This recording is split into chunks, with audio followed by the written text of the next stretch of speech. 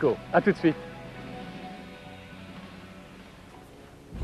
Le pari de Gérald de Wigert, lorsqu'il a créé la Vector, était d'égaler Lamborghini ou Ferrari. Le prototype de cette voiture a vu le jour en 1978. Aujourd'hui, elle est enfin sur le marché. Son prix a été fixé à 2,5 millions de nos francs. «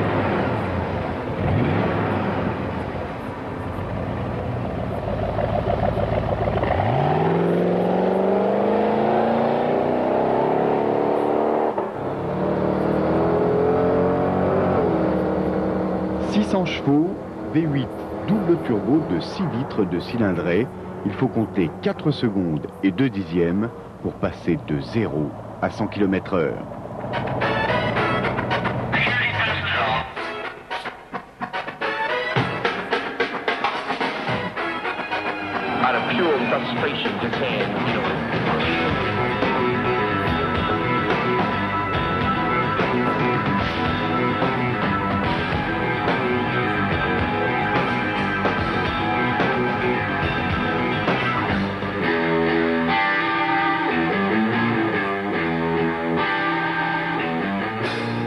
La vitesse maxi est de 350 km heure, faisant de la Vector la voiture de production la plus rapide et certainement la plus sophistiquée du monde.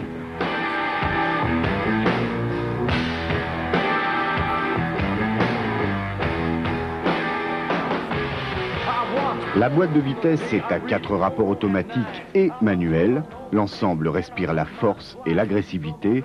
Le but des créateurs de la Vector semble avoir été atteint. Il leur aura fallu 12 années pour arriver à leur fin. Well, it was a it was a personal decision that I had, um, based on my ownership of several exotic cars. Créer la Vector a été une décision personnelle. Je l'ai prise après avoir uh, possédé moi-même plusieurs exemplaires de ce genre de voiture. Not as aesthetically beautiful to me as I as I would Je like, suis un and I designer et je n'ai jamais to, trouvé ces voitures uh, suffisamment belles et je trouvais aussi qu'elles n'étaient jamais assez And, uh, puissantes. That the Voilà pourquoi, were au fond, j'ai créé cette voiture. Or as performance oriented as I was looking for. So that was the key reason. I see things you people wouldn't believe.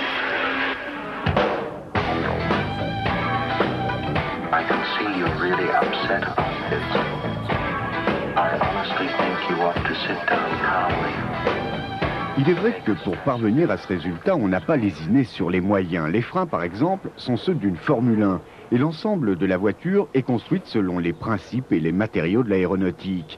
Ici aux États-Unis, cette façon de faire a tellement intéressé les milieux de la recherche spatiale qu'il n'est pas rare de voir dans les revues spécialisées dans l'aviation des essais de la Vector du jamais vu. Reste que cette fabrication a l'avantage de la légèreté et de la solidité.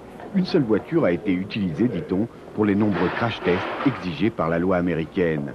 10 Vectors roulent actuellement dans le monde, mais 60 modèles sont d'ores et déjà en commande pour 92. Les acheteurs existent donc, le marché semble porteur, et le Team Vector est bien persuadé de construire la meilleure voiture du monde.